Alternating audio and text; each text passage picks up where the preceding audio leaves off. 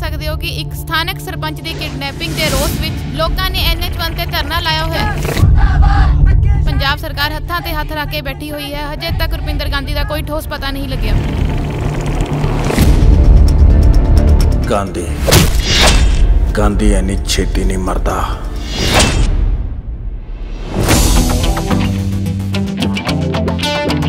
ਮੈਂ ਖੰਨੇ ਦੀ ਗੱਲ ਨਹੀਂ ਕਰਦਾ। ਮੈਂ ਪੂਰੇ ਪੰਜਾਬ ਚ ਨਾਂ ਬਣਾਉਣ ਦੀ ਗੱਲ ਕਰਦਾ। ਓ ਯਾਰੀ ਨਾਲ ਜਿਨ੍ਹਾਂ ਦੇ ਪੱਕੀ ਸਾਰੇ ਫਿਰਦੇ ਅਸਲੇ ਚੱਕੀ। ਖਰਚਾ ਕਿਹੜਾ ਟੀਟਣੇ ਜੇ ਭੂਆ ਜੀ ਜਦੋਂ ਦੋ ਮਰਦ ਆਪਸ ਚ ਗੱਲ ਕਰਦੇ ਹੋਣ ਤਾਂ ਵਿੱਚ ਨਹੀਂ ਬੋਲਦੇ। ਓ ਯਾਰੀ ਨਾਲ ਜਿਨ੍ਹਾਂ ਦੇ ਲੋਕੀ ਮੈਨੂੰ ਮੋਗੇ ਵਾਲੀ ਬੈਲਣ ਦੇ ਨਾਂ ਨਾਲ ਜਾਣਦੇ ਨੇ। ਗੁੱਸਾ ਰਿਹਾ ਸੰਭਾਲ ਕੁੜਾ। ਤੁਸੀਂ ਮੇਰੇ ਬਾਰੇ ਸੋਚਣਾ ਛੱਡ ਤੇਰੀ ਜ਼ਿੰਦਗੀ 'ਚ ਵੀ ਕੋਈ ਹੋਰ ਹੋਈ ਨਾ ਗੋਲੀ ਮਾਰ ਦੂੰ।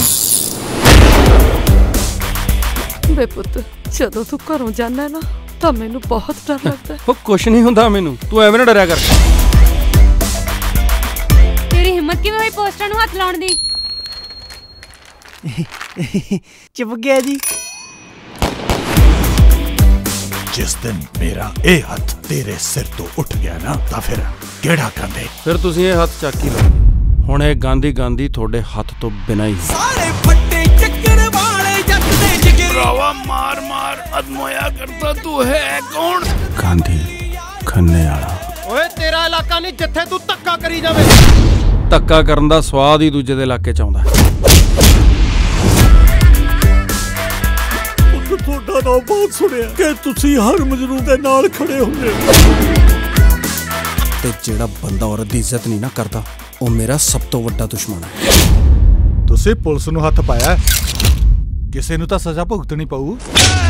ਉਹ ਬਾਈਦਾ ਹੁਣ।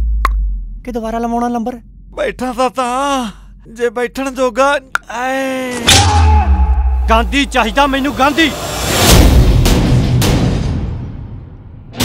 ਲੈ ਆ ਗਿਆ ਗਾਂਧੀ।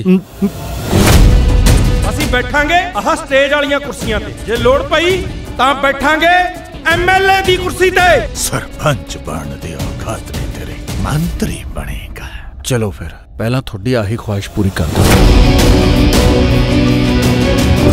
ਮੈਨੂੰ ਉਸ ਦਾ ਪੱਕਾ ਇਲਾਜ ਚਾਹੀਦਾ ਹੈ ਜਿਹੜਾ ਜੰਮਿਆ ਗਾਂਧੀ ਦਾ ਕੰਡਾ ਕੱਢਣ ਵਾਲਾ।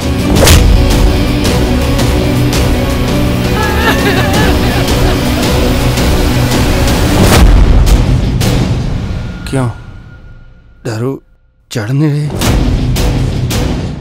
ਇਹੀ ਖੌਫ ਹੈ ਗਾਂਧੀ ਦਾ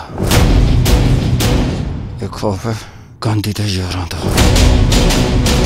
ਗਾਂਧੀ ਹੋਰੇ ਫੇਰ ਆ ਰਹੇ ਨੇ।